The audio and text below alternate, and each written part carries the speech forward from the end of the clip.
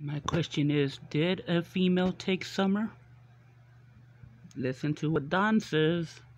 It's, it's got to be some sicko hillbilly druggie, you know, drug her out in the woods or, you know, or something, or somebody put her in her car and took her not too far away or whatever like that. But I'm starting to wonder if it isn't some high end thing. Maybe somebody's seen her on Facebook because my wife was always posting stuff on Facebook.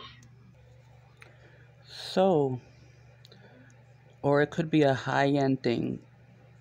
My opinion is Don Wells and Candus were trafficking illegal immigrants.